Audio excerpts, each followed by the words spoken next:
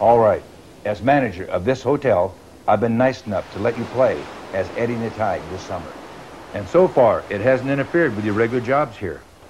With these record executives coming, I don't want you guys trying to get a record deal while you play poolside. And I don't want any horsing around.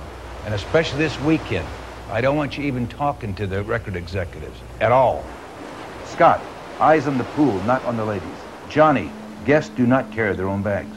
Kaz, park the cars, don't sleep in them. George, don't mix up the room keys today. Eddie, a good waiter can make lots of money. So give up the nonsense with the tide and a record deal. You're dreaming. Your chance of getting signed are one in a million. Mr. C, this band is one in a million.